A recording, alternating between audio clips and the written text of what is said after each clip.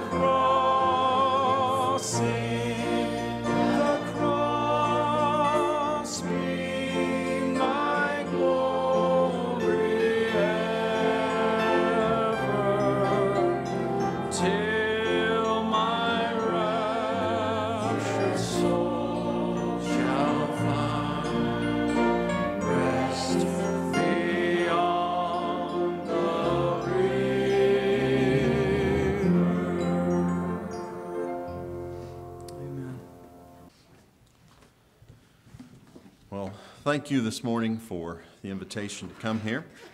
Uh, you have a beautiful sanctuary. I haven't been here before, uh, and uh, it's lovely, and it honors God. I would, I would like to just uh, talk to you this morning, but, uh, but my pride makes me give you an explanation. Um, I am as old as I look, but I'm not as old as I act. Um, about a week and a half ago, I was cutting a limb out of a tree, and uh, I thought I knew what I was doing until the chainsaw went through the limb and the limb came back and knocked me off my ladder. Uh, so since then, I've uh, kind of crippled around a little bit, been a little bit sore. Uh, but no serious injuries other than my pride. I've taught physics for 30 years and I can't predict the torque of a tree limb. Uh, but, you know, other than that, uh, I'm okay.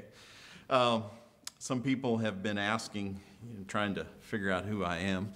Uh, and it's probably because after I graduated from high school, I just kind of disappeared off the face of the earth uh, from around Independence. Uh, I went to college and wound up uh, right after college at a Christian school in Fort Scott, Kansas, uh, ran by Church God Holiness. And uh, I taught high school and junior high science for 30 years now. And uh, somewhere along the way, the Lord said, It's time for you to be principal in 2020. Um, that was interesting. Um, but anyway, so that's, that's where I'm at these days. And uh, I, I look back over my life and I'm amazed at what God has done and uh, the direction and the things that have happened. Uh, also, somewhere along the way, pastored a little rural church for about 15 years. And uh, God's just, uh, He's very important to me, and He's led me on an exciting journey. I have three kids that are all graduated, moved out, grown up, adult. Uh, my baby's older than I want to admit. Um, but anyway, uh, and even grandkids at this point in time. Uh, but enough about me. You uh, came to hear about God. There's this verse of Scripture. Most of the Scripture this morning will be out of 1 Kings, um, neighborhood of 17 through 19. Uh, but there's a Scripture in the book of James. Uh, I'm sure you are familiar with it. James 5, 16 through 18. Confess your trespasses one to another and pray for one another that you may be healed. The effective, fervent prayer of a righteous man avails much. Elijah was a man with a nature like ours, and he prayed earnestly that it would not rain, and it did not rain on the land for three years and six months. And he prayed again, and the heaven gave rain, and the earth produced its fruit. Now, right away, you uh, probably noticed that my habit was not King James. I, for some reason, chose to start using New King James several years ago. So you might be more familiar with the phrase uh, Elijah was a man with like passions, or Elijah was a man that he was just a man. He was just like you and I. That's an interesting statement, right in there with what he was praying for. It sounds a little extraordinary to me. But James said again that he wasn't anything special. He was a man with a nature like ours, or a man with like passions. He was just like us. So, somewhere along the way, the Lord started bringing to my mind some different things about Elijah. And uh, this man that has a nature like mine. So I went back in 1 Kings, and that's where I'm going this morning 1 Kings chapter 17. And I am skipping around a lot, and I will try not to, uh, to skip too fast if you are trying to follow along. 1 Kings chapter 17, verse 1 Elijah shows up on the scene out of nowhere. And Elijah the Tishbite of the inhabitants of Gilead said to Ahab, as the Lord God of Israel lives, before whom I stand, there shall not be dew nor rain these years except at my word. I look at that, and the first thing that comes to my mind is I can't relate. I can't identify with a man that's going to pray that it doesn't rain for three and a half years and then holds a press conference with the leader of the country to tell everyone that it's not going to rain. Now, I have confidence in my prayers, but not that much. Um, I, I'm already saying, wait a minute. He was a man with a passion like mine. I, I don't identify there. I, I can't relate. Skipping down to verse 13 of the same chapter. Elijah is hungry in the middle of this drought that he prayed that it would not rain, and there is famine everywhere because of that. And in verse 13, he goes to a widow and her son, and he says, Do not fear, go and do as you have said, but make me a small cake from it first, and bring it to me, and afterward make some for yourself and your son. I can't relate. I live in a women and children first mentality. And here's this man of God saying, Fix me something first. This guy was had like passions like me. Uh, I'm struggling here. I cannot relate to this guy. And then skipping down to verses 21 and 22, uh, a child passed away. And he stretches himself out on his child three times and cried out to the Lord and said, O Lord my God, I pray, let this child's son, soul come back to him. Then the Lord heard the, verse, the voice of Elijah, and the soul of the child came back to him, and he revived him. I really cannot relate.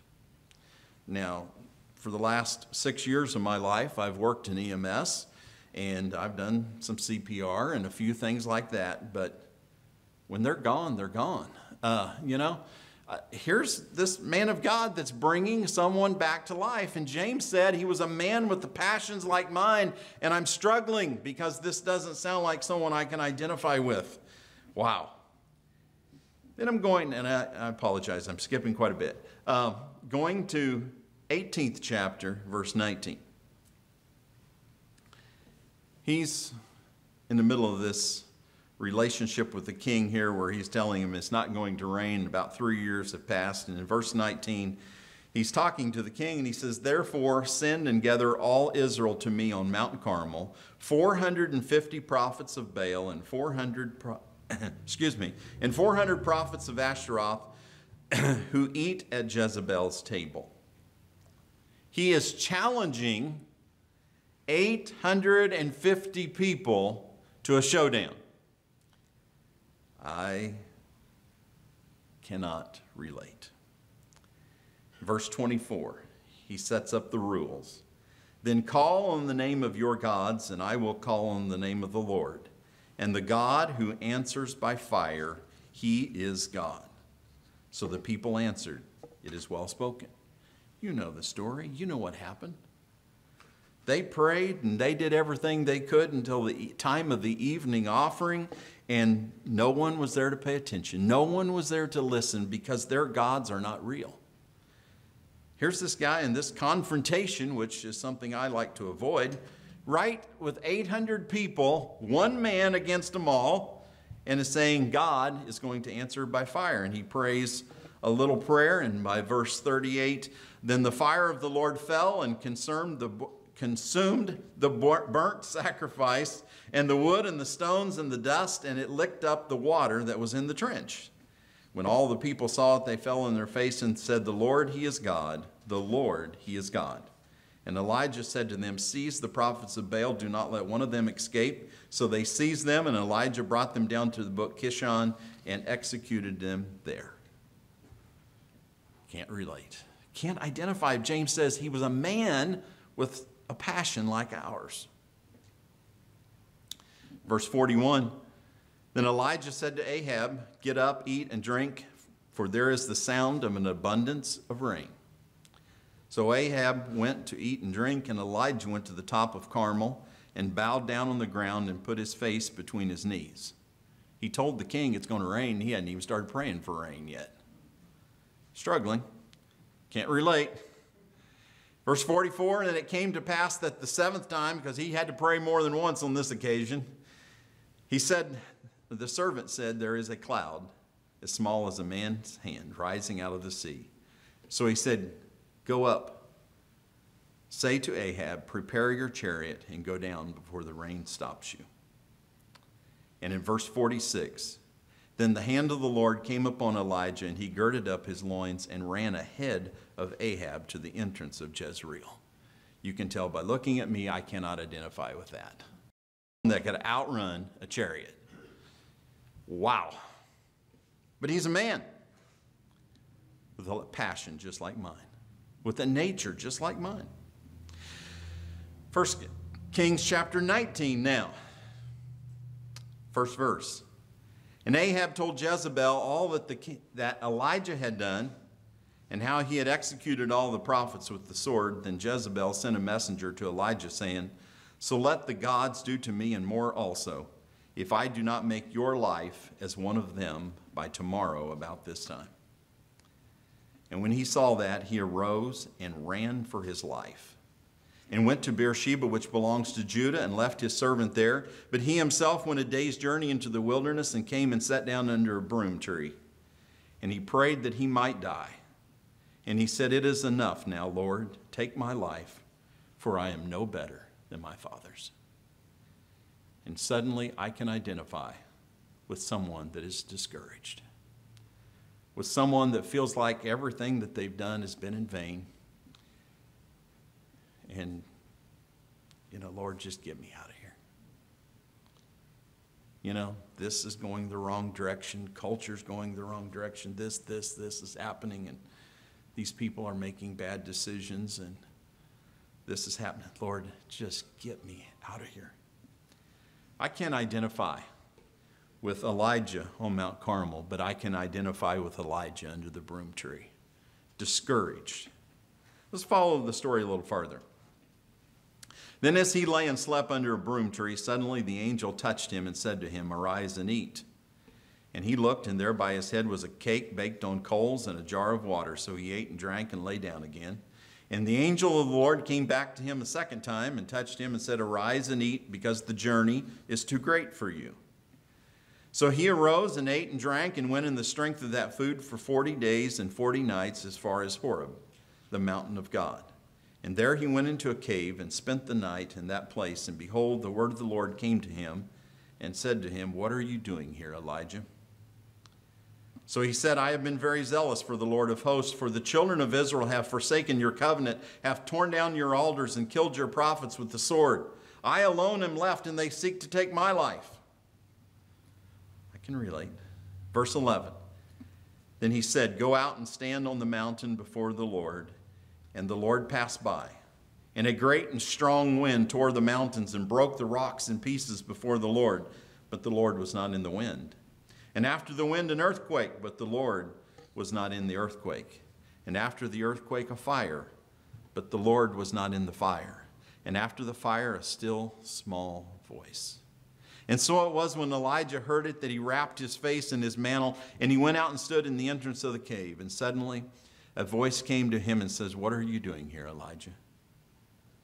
Then the Lord said to him, Go and return on your way in the wilderness of Damascus. And when you arrive, anoint Hazael king over Syria, and you also shall anoint Jehu, son of Nimshi, king over Israel, and Elijah, the son of Shaphat of Abel Manolah. Sorry for those pronunciations. You shall anoint as prophet in your place. And it shall be that whoever escapes the sword of Hazael, Jehu will kill, and whoever escapes the sword of Jehu, Elisha will kill. And look at verse 18. And by the way, I have reserved 7,000 in Israel, all whose knees have not bowed to Baal and whose mouth have not kissed him. Elijah, you're not the only one. Wow. This morning, if, if the Lord would help us a little bit, I know there is a lot of scripture there and uh, covered a lot of territory. And uh, sometimes I think a preacher can read too much, and I hope that didn't happen this morning. Uh, but you get the idea of, of what happened to Elijah.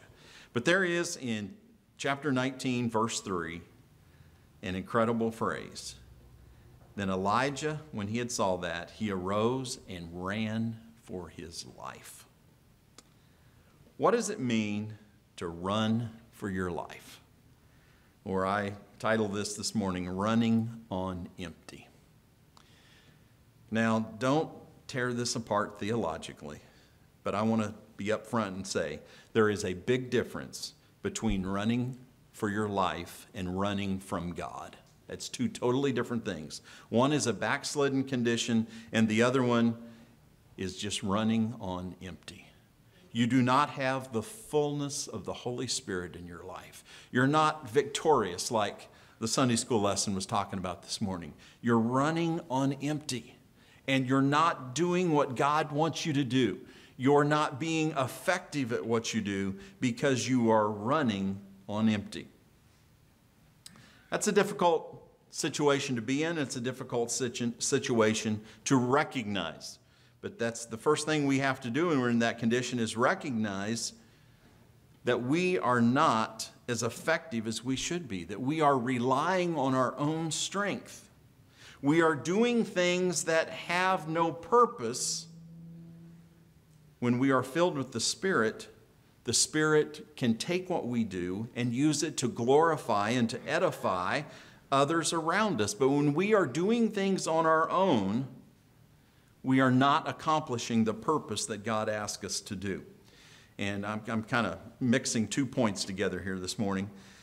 But when we are running on empty, the reality is people are hurt by our behavior because we are operating outside of the Spirit's influence. Let me try to, to illustrate that this morning.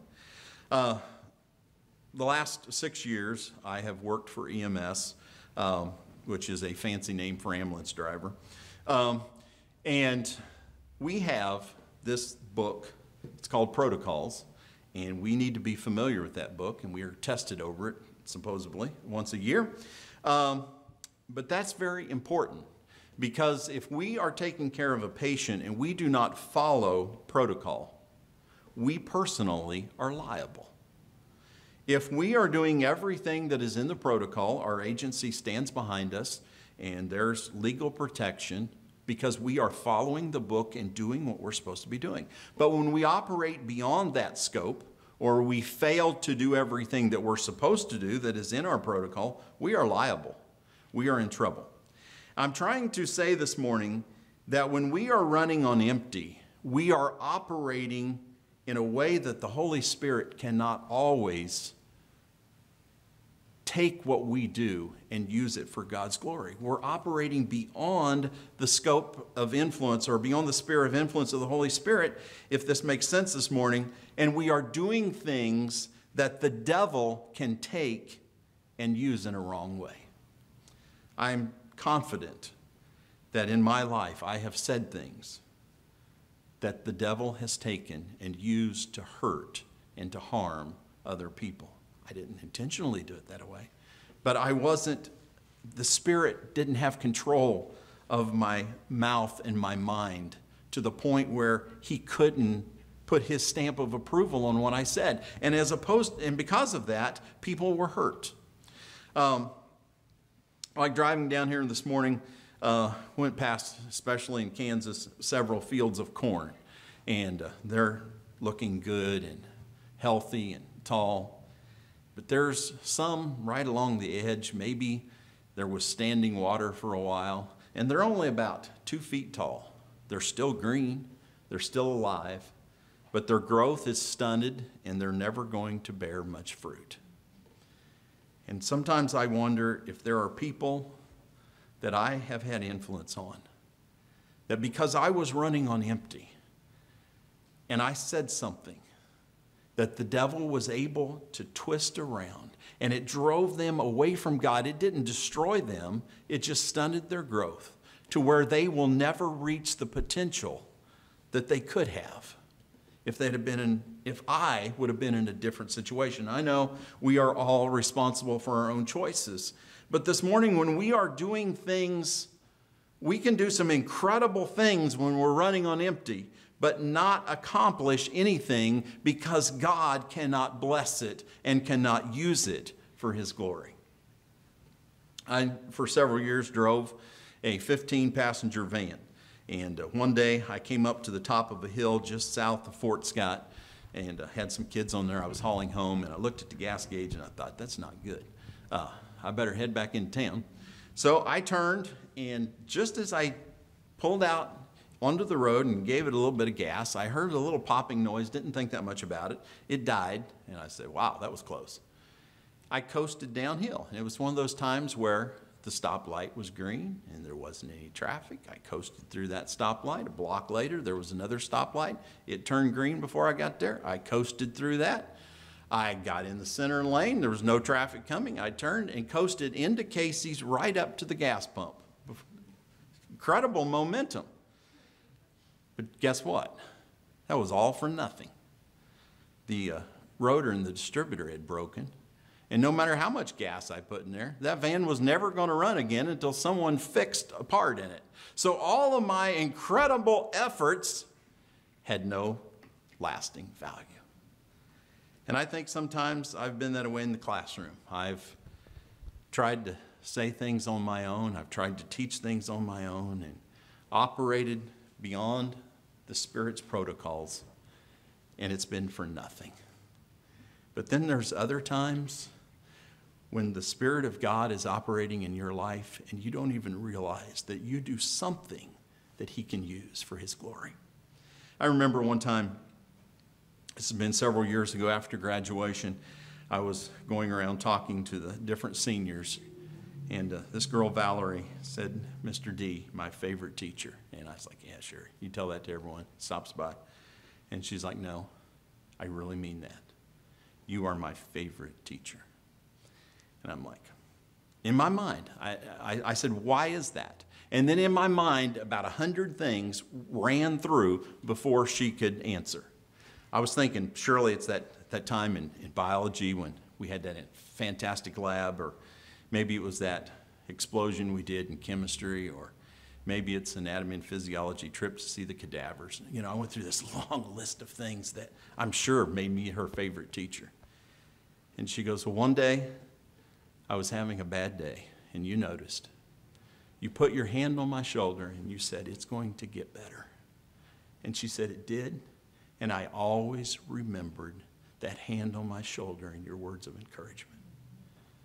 I had no idea.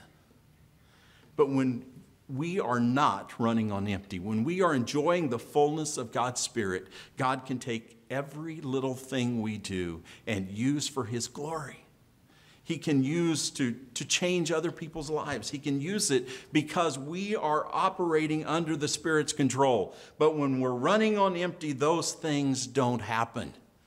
Instead, we end up hurting people instead of helping. Why this morning would someone, what are the reasons for running on empty? Well, I look at Elijah, I can tell why he's running on empty. He is physically exhausted.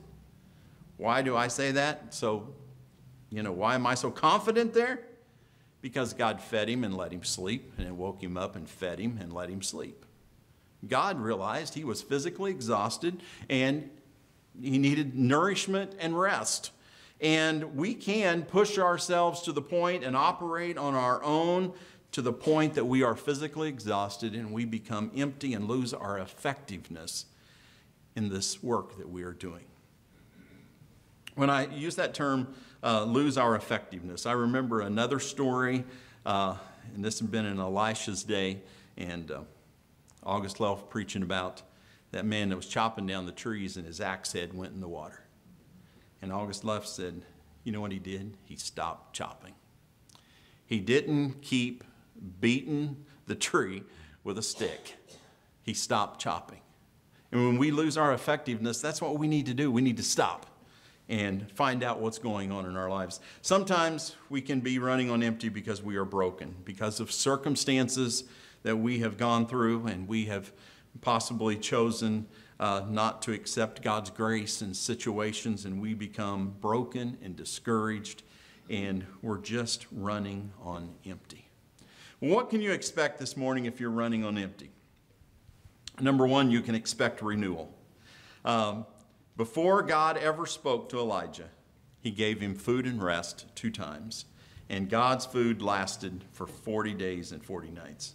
It wasn't Chinese. He wasn't hungry 30 minutes later. He lasted for 40 days. That's awesome. It was the strength that he needed. God will renew us. And then there's the revelation. God revealed himself to Elijah. Before he told Elijah, get out there and get back to doing what you're supposed to be doing, First, God has this little session where he sends the wind, the earthquake, and the fire. You know, everyone close to Mount Carmel saw the fire, but only Elijah saw the wind and the earthquake, and only Elijah heard the display or heard the still small voice. God reveals his strength to us when we need it the most. When we, oftentimes, when we are discouraged, that's when God shows us how powerful He is. And God can work in our lives in an incredible way when we are going through a storm mentally and physically. That's when we see God's power. That's when the disciples saw the strength of Jesus, is when He stilled the storm. Yeah, they, they saw some strength on Mount of Transfiguration but they experienced the stilling of the storm and they experienced the power of Almighty God when they're out there in a boat in the middle of the storm. When we are discouraged, oftentimes God reveals himself to us personally in a way that no one else knows about. God just touches us and said, I can do this for you. I can do this for you. Choose grace. Choose to rely on my power. In those times, he reminds us that we are not alone. Jesus said, I will never leave you nor forsake you. And it doesn't matter how discouraged we get, God is still with us and He's still there. And we just need to look for Him. Look for Him. Was God in the earthquake and the fire and the, wind? No, it was just God's power. But God was in the still small voice that spoke to Elijah. And God can speak to our hearts in such a way that He needs that we need Him to. Yes, when we are running on empty, we can expect renewal, we can expect, expect revelation, and we can expect Him to re engage us. What are you doing here, Elijah? What are you doing here? The battle's over there, and that's where you need to be. And by the way, Elijah, your work's not over. You need to do this, this, this, this, and this. There's still a job for you to do. Just because you're discouraged doesn't mean your usefulness is over. I still have work for you to do. And then he reminded Elijah again, by the way, you're not the only one. There's still 7,000 people that have not bowed their knee to you. Back to your position. The battle is not over. There's still work for you to do. He re engages us in the battle. If you're running on empty this morning, that's what to expect. You expect Him to renew your strength, to reveal Himself to you, and to be reminded of who He is and re engaged in the battle. But what if this morning, if it's a different situation, what if you are running from God? You have intentionally done something that you knew was not right, it was wrong, and you've turned your back on God and you've ran from Him. There's a couple of incredible verses, and one of them is Isaiah 55 7, a verse that everyone needs to memorize. Let the wicked forsake his way, and the unrighteous man his thoughts, and let him return to the Lord, and he will have mercy on him, and to our God, for he will abundantly pardon. Isn't that awesome? If you're running from God this morning, the first thing you need to do is stop running. Forsake your way. Stop. Take a different route. And the unrighteous man his thoughts. Don't go down that road anymore. Stop. And then return to the Lord. And you say, Well, you don't know how far I've ran. I can't get back. To return to Him is the journey's too great. I can't do that. I've ran too long. In, verse, in uh, Luke chapter 15, Jesus is talking about the Good Shepherd. And he said, What man of you having a hundred sheep, if he loses one of them, does not leave the ninety and nine in the wilderness and go after the one which is lost until he finds it? And when he has found it, and again, I think of August Lauf, he says, Do you ever wonder why you got saved so easy? He said, It's right there. He lays it on his shoulders, rejoicing, and heads back to the fold. August Lauf said, He doesn't tie a rope on your leg and drag you back. No. He puts you on his shoulder and takes you back. If you've been running from him this morning and you stop and you repent, you can expect God to pick you up and bring you back. And what else can you expect? You can expect restoration. It says, Return to our God, for he will have mercy, and to our God, for he will abundantly pardon.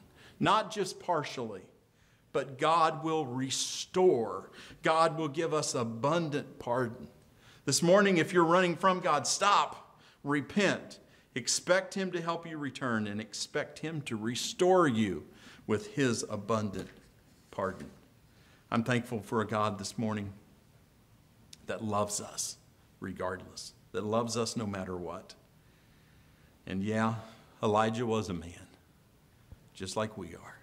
He got discouraged, he had some bad days. But it was in those times when he found out how great God was. And today, if you're going through a difficult time, hang in there. There's a God that specializes in helping people that are running on empty. And if you're running from Him this morning, stop. Let Him return you. Repent and let Him return you. And He will have mercy. And to our God, for He will abundantly pardon.